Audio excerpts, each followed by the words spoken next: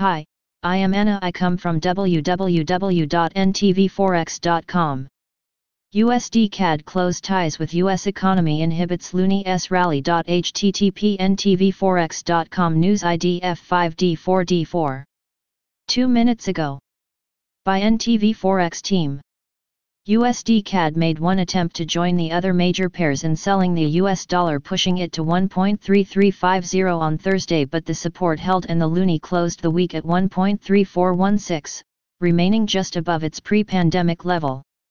U.S. rise in COVID cases and potential damage a concern for the closely allied Canadian economy are preventing CAD to follow the rise of other majors against the dollar, NTV Forex analyst Joseph Trevisani briefs.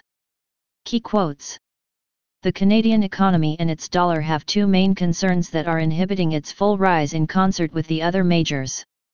First, its position as the biggest U.S. trading partner makes it susceptible to American economic weakness should the pandemic again force a U.S. shutdown.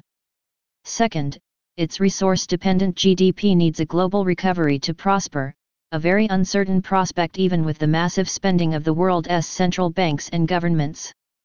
The loonie's restraints should not prevent its improvement against the dollar in the week ahead, but it will likely move less against its North American colleague than its overseas competitors. The moving averages are unusually mixed with the 200-day the lowest at 1.3516 reinforcing at 1.3515 resistance line. The 21-day at 1.3551 is in the middle of the June 12 to July 20 range and the 100-day is well out of the picture at 1.3842. Subscribe our channel to receive the news as soon as possible.